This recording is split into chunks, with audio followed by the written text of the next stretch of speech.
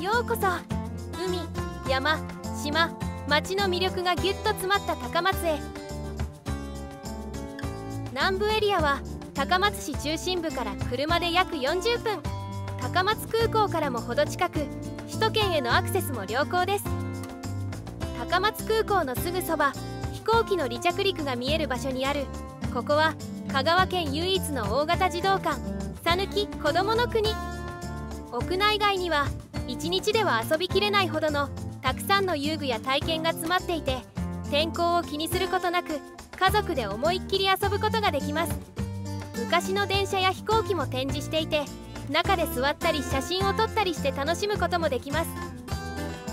最南端に位置する塩の江町は春は桜夏にはホタル秋は紅葉冬は雪が舞う自然豊かな町。高松の奥座敷として親しまれている歴史的な温泉郷や自然に囲まれた美術館もあり多くの人に愛されています。